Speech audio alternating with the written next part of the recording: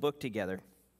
A few years ago, uh, I was uh, in Philadelphia for a pastor's retreat, and the, the guy kind of leading that retreat took me and a few of the, the pastors uh, uh to this restaurant that was pretty much the, the nicest restaurant I'd ever been to in my life. It was ridiculously expensive, the kind of place that I probably would not have gone to if I was paying. You know what I mean? Uh, you feel a little bit bad eating there, but you never forget the meal. It was it was uh, amazing. I think we were there somewhere around three hours. There was like eight or nine courses or something ridiculous, and each time they would bring out something, I would assume that was the entree, and I would dig in. Only to discover like 10 minutes later when they arrived with another platter that this was just another appetizer. It was amazing. And as you might guess, through the course of the night, we were singing the praises of the wait staff. They became some of our favorite people. We loved seeing them appear from that doorway because we knew they had something wonderful that we were ready to enjoy. But imagine with me, uh, imagine that for the main course, instead of sending the wait staff out, that the chef himself appeared and, and brought that to our table. If that were to happen, what should be our response? Well, it would be really strange to refuse what the chef brought out or to leave, leave it on the plate, right? That would be crazy. The opposite should be true. If we were that eager uh, to praise the wait staff and ready to receive and enjoy what they would bring, how much more eager should we be to praise the chef and, and gladly enjoy and accept what he brings us. The wait staff's wonderful, but the one who prepares and designs and cooks the meal, that's even better. All the more worthy of our eager attention and appreciation and our acceptance, right? Well, this is kind of the argument that the author is making in our passage with respect to Jesus and the angels. Uh, the passage before us this morning. The angels are kind of like that wait staff, they're doing their job. But Jesus is the chef. And it would be foolish to leave what he delivers on the plate when he brings it to us. Now, we've just begun working through the book of Hebrews. If you were with us last week, we kind of kicked it off looking at the first four verses uh, where we see that Jesus is a better word. We're, what we're going to see throughout this book is that Jesus is better in every way, especially than the old covenant that he now fulfills. And, and last week we saw that he is the full and final revelation of God and his salvation, that uh, he is. Uh, the heir of all things. He's the creator and sustainer of all things, that the radiance of the glory of God, the exact imprint of his nature, the one who completed God's redemption, the one who reigns with the Father in heaven. And for that reason, he is uniquely qualified to reveal to us the, the fullness of God's salvation. He's a better word. That's what we saw last week. Well, in our passage this morning, he's going to continue showing us, arguing for the superiority of Jesus. But now he's going to do it by comparing him not to the prophets, like we saw last week, but to angels. He's going to make this comparison between Jesus and angels. And that's a topic he actually introduced at the end of our passage last week in verse 4. When Jesus sat down at the right hand of the majesty on high, he became as much superior to angels as the name he's inherited is more excellent than theirs. Well, in verses 5 to 14, he is going to elaborate on that point, uh, on the superiority of Jesus over angels, by, by taking us to seven Old Testament texts in order to prove it. And then in chapter 2, verses 1 to 4, he's going to apply that to us. What difference does it make for the church? That Jesus is better than angels. Why does that matter? That's what he's going to uh, help us understand. And he's going to do this not by tearing angels down, like, just like you don't have to tear down the wait staff to make the chef look good. No, he's going to do it by appealing to the rightful respect that his readers have for angels and then showing us how Well, if you respect them that much, Jesus is even better. That's the way he's going to make his argument that Jesus is a better messenger and therefore deserving of even greater respect and attention. But why angels? Why in the world does he spend so much time talking about a subject that probably seems strange to a lot of us, right? Uh, we don't, you know, as, as Christians, we believe in angels, but we don't necessarily think about them or talk about them a whole lot. And when we do, it's usually probably shaped more by pop culture or superstition than by scripture. And, so, what, what makes the author spend so much time uh, on this subject? Well, in the ancient world, it was a little bit different. Uh, with regard to uh, this respect here, there was a much keener awareness of the supernatural realm. Like we believe in that, but, but we don't, again, necessarily talk about it or think about it as often. Well, according to Scripture, angels were part of that hidden realm. They, they were quite glorious creatures who played an incredibly important role and continue to play an important role in God's work. You see that through both Old and New Testament. Uh, some of them are continuously worshiping God. That's their job. They are giving him glory in his presence. You think of the throne room scenes in Isaiah 6 or in Revelation 4 and 5.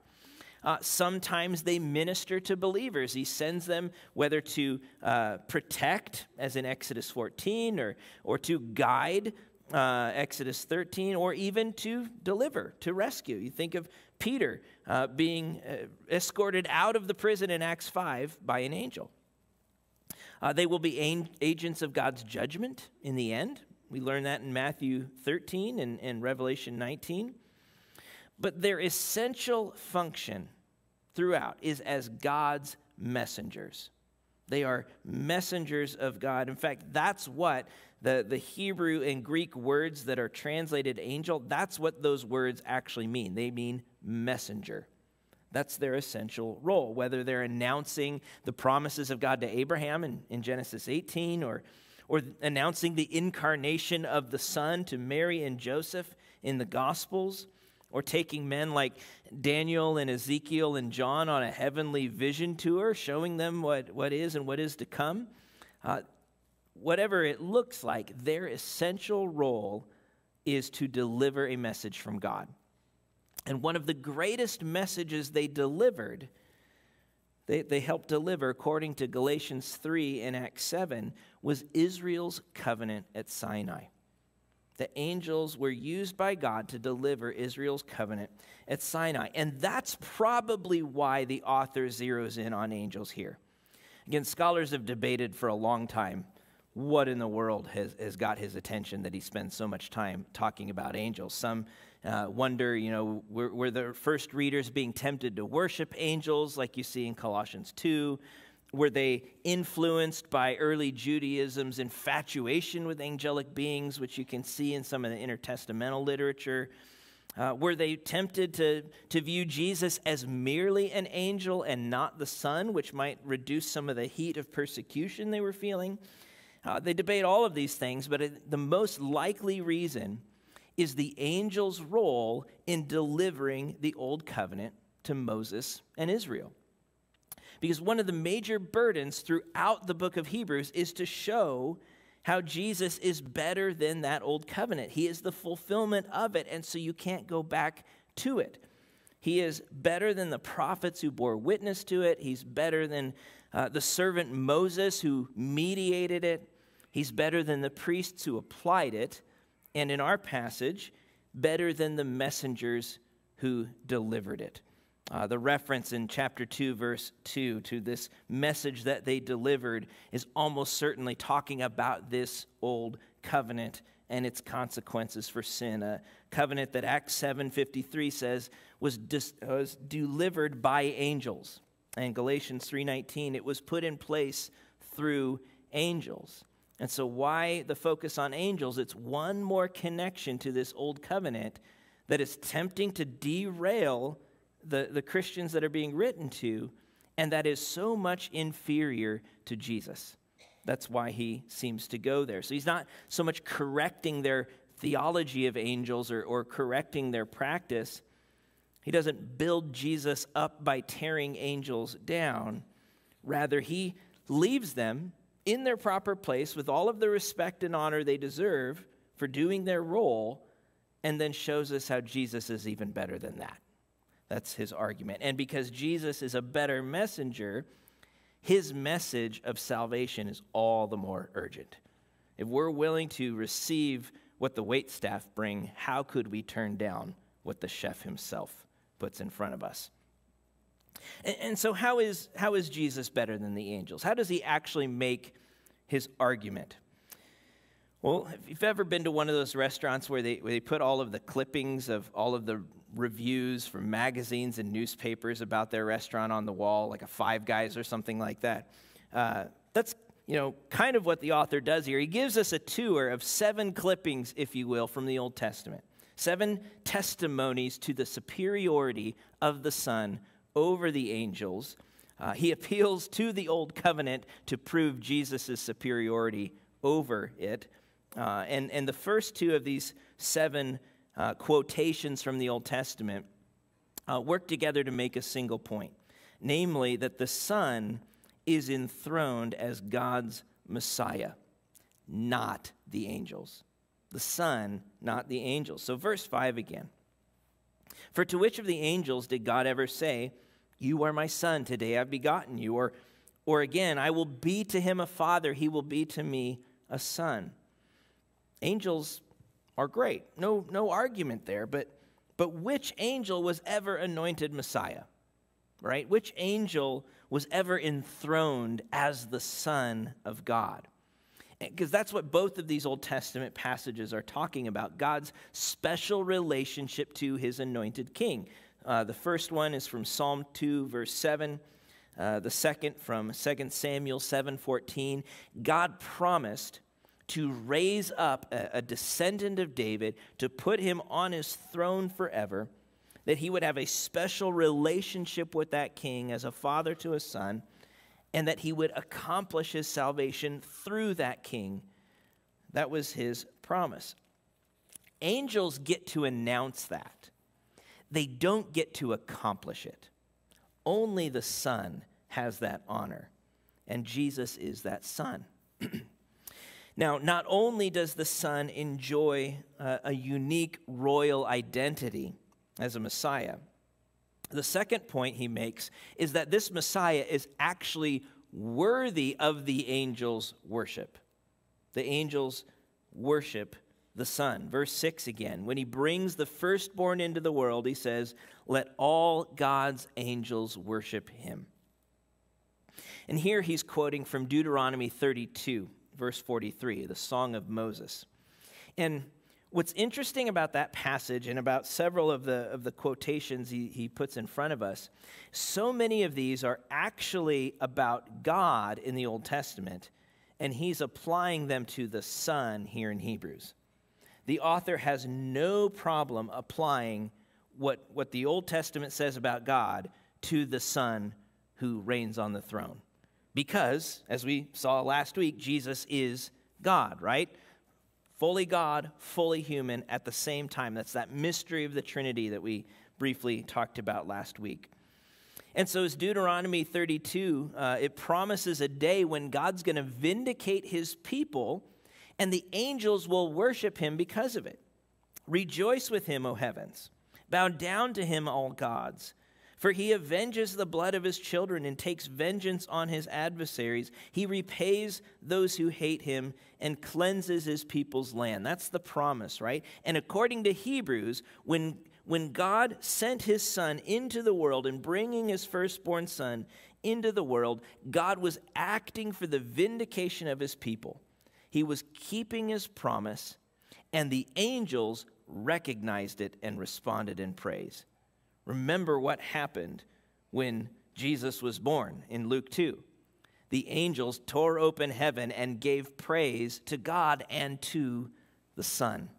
The angels worshiped him. Number three, This next piece of evidence describes the nature of angels in order to set a contrast uh, between the nature of the Son, namely, that angels are created servants. They're created servants. He makes, this verse 7, of the angels, he says, He makes his angels winds, his ministers a flame of fire. Unlike the Son, angels are created servants. And this quotation comes from Psalm 104.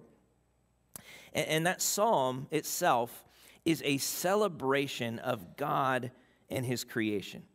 He lays the beams of his chambers on the waters. He makes the clouds his chariots. He rides on the wings of the wind. He makes his messengers or angels of uh, winds, his ministers a flaming of fire. He set the earth on its foundation so that it should never be moved. This beautiful picture of God and his creation, and angels are part of the created order.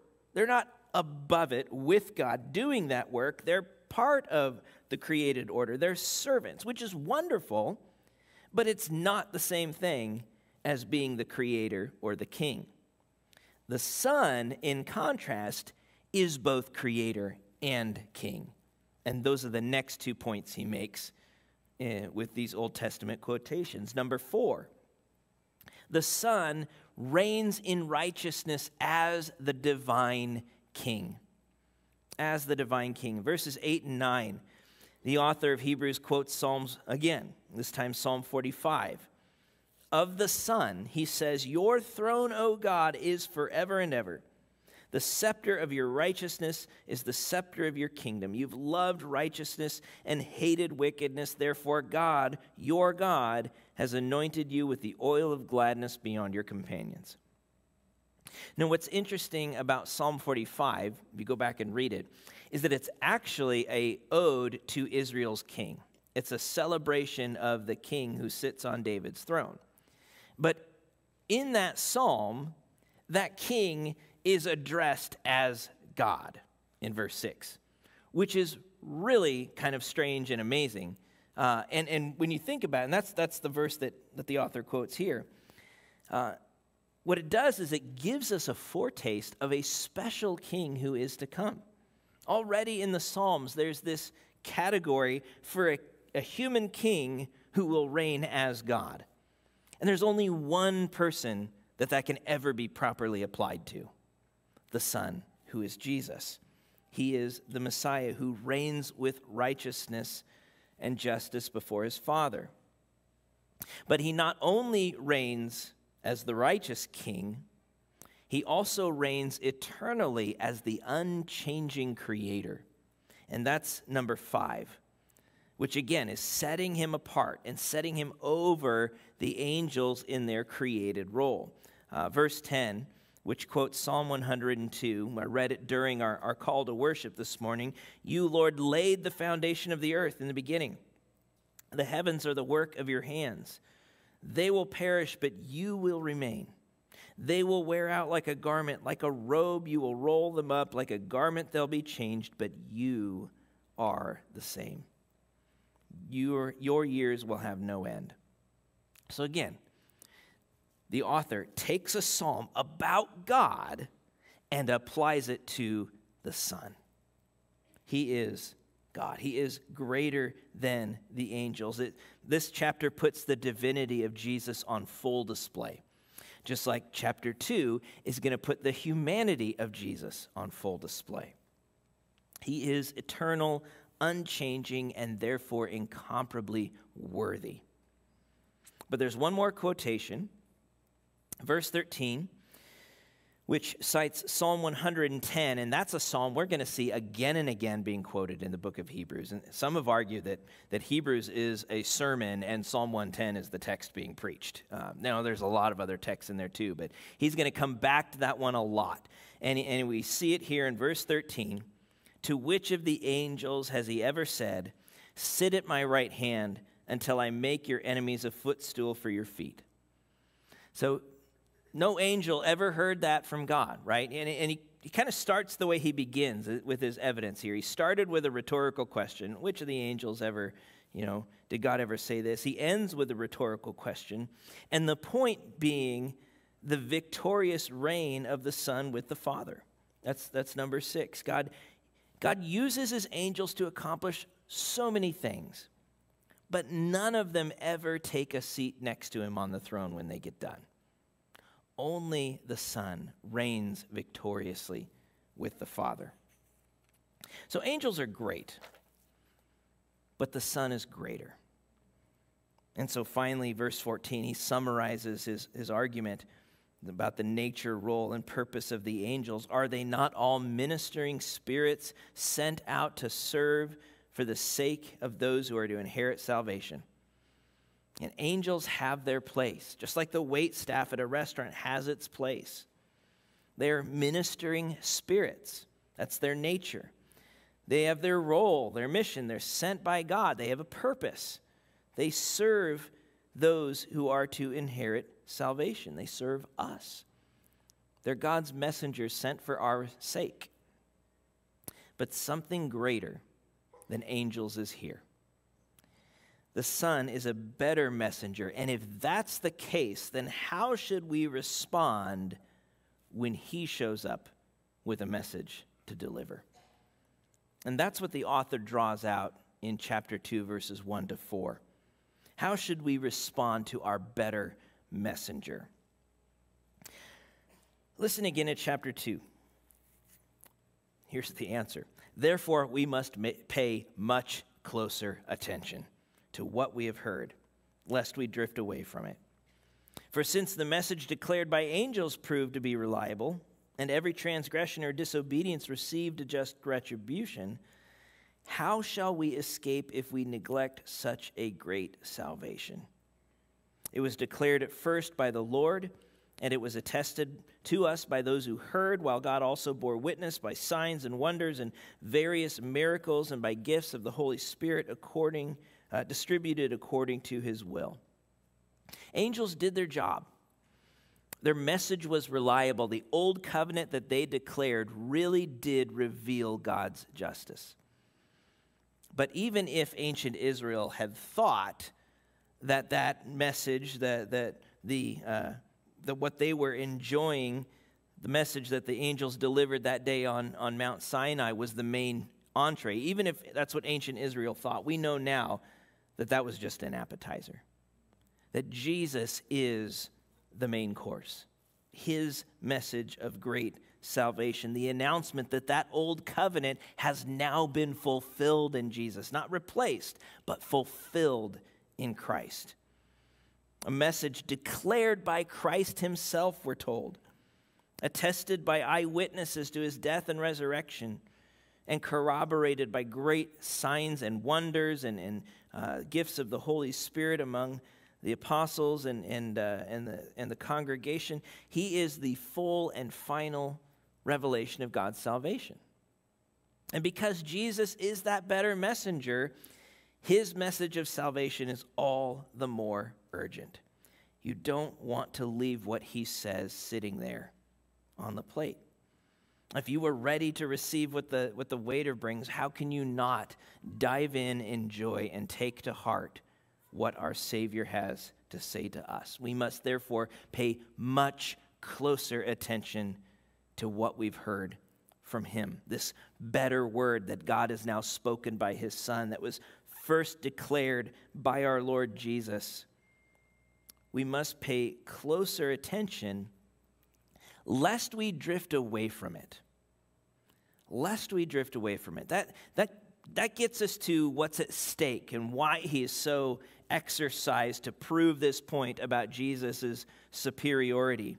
That's the problem he's trying to avoid. This temptation to get distracted by a good thing, angels, but then uh, miss the more important and essential thing, Jesus himself. And, and as we're going to see throughout this book, drifting is a real threat. It's one of, the, one of the burdens that the author has is to keep the readers from failing to receive the prize, from not finishing well, from wavering in their confession, from falling away from Christ. Now, full disclosure, I believe strongly in the eternal security of the believer. I believe that uh, Scripture teaches that once we are saved, we are always saved. And, and meaningful Christians will debate those kinds of things, but as far as I read Scripture, uh, salvation is a work of God. It's something He's done, and I am not powerful enough to undo that, right? Um, he's going to carry His children through faithfully all the way to the end. I believe that's what Scripture teaches. But it also teaches us not to presume upon God's grace. Not to think that just because I prayed a prayer at one point or, or because I agree with all of the right doctrine, then I can just coast and it doesn't matter what I do or how I live. Scripture calls us to watch our life and our doctrine. It warns us many times not to fall away, not to forfeit grace, not to let ourselves drift. And, and, and that's, again, that's the picture, uh, this problem of drifting. Nobody, nobody walks away from Jesus overnight. Right? When, when the author's writing to these, uh, to these early Christians, Nobody among that ancient church was going to go to bed one night having believed in Jesus and trusted in his sufficiency and the cross and glorying in who he is, and then wake up the next day and say, you know what? I don't think uh, that Jesus has come, and uh, I think we need to go back to Judaism. Like, that's not an overnight decision, right? That happens through drift. It's the picture of you know, forgetting to tie up the boat. You know, it might, it might hang near the dock for a while but after a while, the wind and the current just drifts it slowly further and further out to sea. We take our eyes off of Jesus. We loosen our grip on the gospel. We, we allow ourselves to become distracted or disenchanted or disengaged or self dependent, such that you know, over time we've drifted so far out to sea we can no longer see the shore of Christ's sufficiency, we begin to wonder if that shore ever even existed. And we think that the law is the only way to row ourselves back home. We cannot afford to neglect such a great salvation, to leave what Christ has for us on the table, because this is not just a meal. That's my analogy. This is life. This is eternal life and salvation. That's what's at stake. And if the message of the angels that they were so ready to acknowledge, if that proved reliable, that there really were consequences for sin under the old covenant, then how can we escape God's judgment if we ignore the full and final answer to his salvation, if we pass on Jesus? Send him back to the kitchen or just let him get cold on the table. God's given us a better messenger, a better messenger in Jesus. And, and so as we think about that, you know, the, the way he has shown us that Jesus is better than angels, what he's, how he's applied that in terms of being more careful to listen to him, what do we do with that this morning as readers of Hebrews today? Well, I want to encourage us uh, to consider two things in response to what we've read. The first is to take a self assessment, to honestly think and ask ourselves, where am I prone to drift? Where am I prone to drift? If that's what the author is trying to help us avoid, okay, where am I most vulnerable to taking my eyes off of Jesus? To loosening my grip, to being distracted or drawn away by something else. And, and there's no doubt a lot of ways we might answer that question. It's going to probably be a different answer for each person in this room, right? Uh, maybe some of us, maybe I, have an inflated view of something. I look at things like money or grades or success or fame or sex or approval or entertainment, any number of things, and I estimate them more highly than I ought to. I think they're, they're better than they actually are. And, and, and, I fill them with so much value that they arrest my attention from Jesus and, and begin to consume my imagination, and eventually they become my hope. I tether myself to something other than Christ. Something that will invariably pull me away from Him and ultimately disappoint. Because, you know, at, at some point, if I'm putting my hope in money and in Jesus, at some point those competing saviors are going to clash. And only one of them will win in my heart, right? I can't follow my heart and follow my Lord at the same time. There will come a point where those paths diverge, and, and I'm going to go one way or the other. And, and so, one of the ways that we can drift is by allowing something other than Christ to, to have it, to, by giving an inflated view of it, to think it's better than it actually is, such that it captures our attention and ultimately disappoints us. That's one way to drift. But there's another way, similar to what we see in our passage, and, and that's where I have an accurate view of something that's good. Angels are good but I fail to translate that into a superior view of Jesus. It's like I'm, I'm filling up on the appetizers such that I don't think I really need the entree. Angels are good. Coming to church is good. Reading your Bible is good. Maybe I have a great, healthy view of the importance of, of attending church and, and reading my Bible, but I've failed to let that high view of a good thing translate into an even higher view of the Savior whom all of those things are actually about. I know what I'm supposed to do, and I do it, but I'm not really engaged with Christ in it. My faith becomes impersonal or routine. Or I, I love studying and teaching about Jesus, but I don't really spend a lot of time with Jesus. You know, and, and that, friends, that is just as dangerous as being drawn away by lesser things, to become comfortable with good things that are disconnected from Christ. You can drift with good theology and doing good things for God if you allow those doctrines and those deeds to become detached from the person of Jesus and his supreme worthiness. And so we need to ask ourselves where am I prone to drift? Where am I prone? Where am, am I drawn away by inflated things? Am I content with secondary things? That's the first question to ask. But understanding my, my proclivities, my temptations, that's, that's a start. But second, we also need to nurture our hearts to cherish what is better. And so, our, our second response to this passage is to look again to Jesus.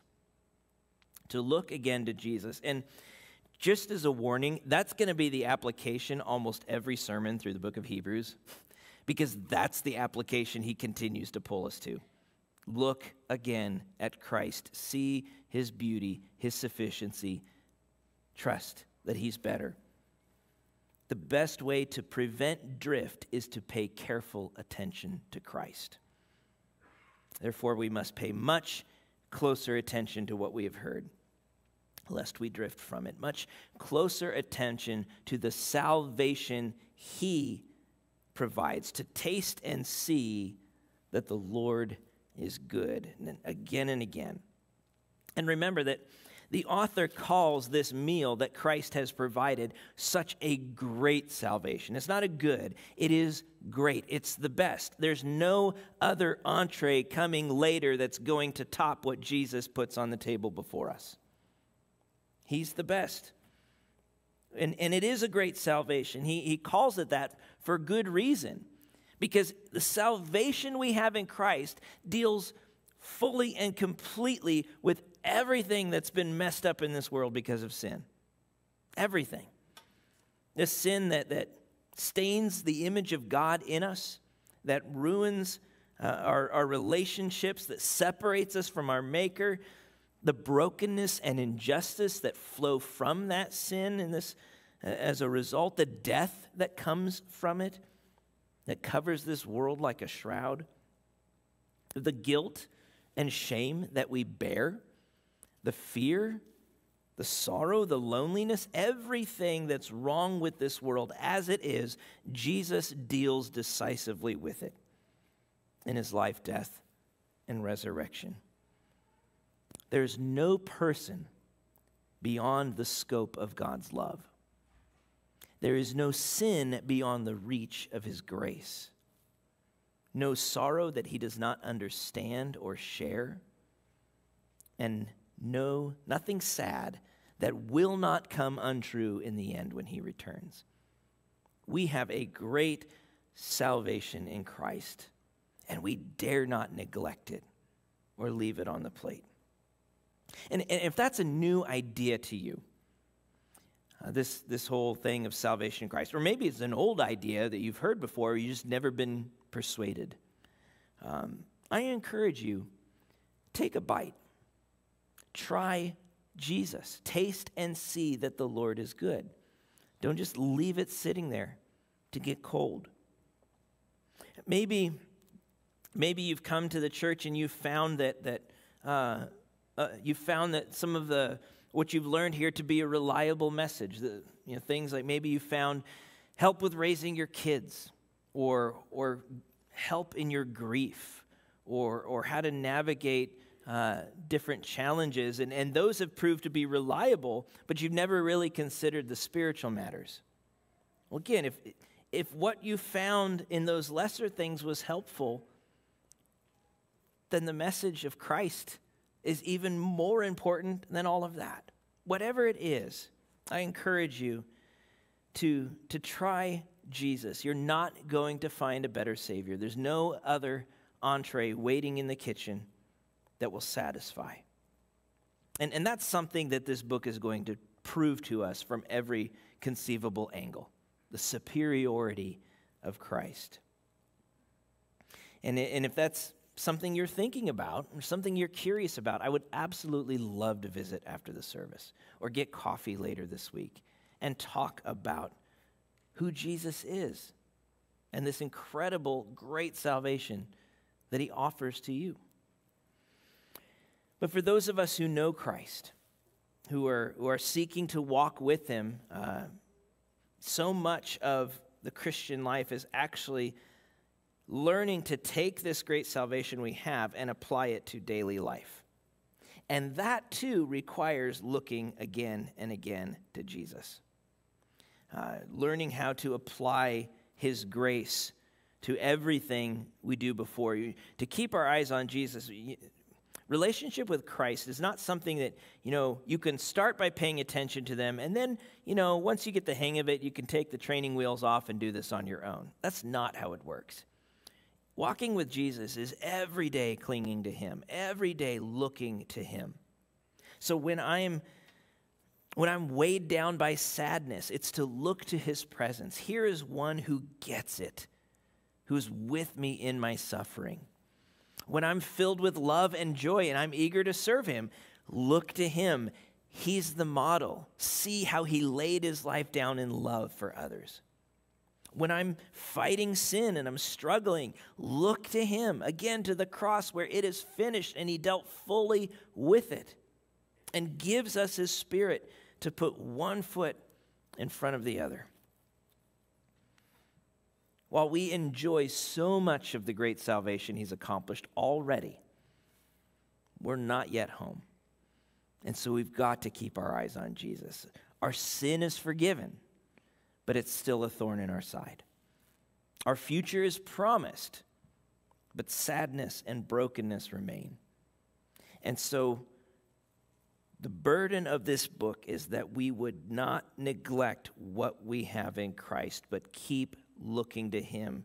As he puts it in chapter 12, keep our eyes fixed on Christ, the author and perfecter of our faith, who for the joy set before Him endured the cross, scorning its shame, and sat down at the right hand of the throne of God.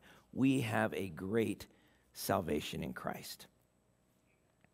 Amen. Because he is a better messenger his message of salvation is all the more urgent. Don't let it get cold. Don't neglect it. Don't send it back.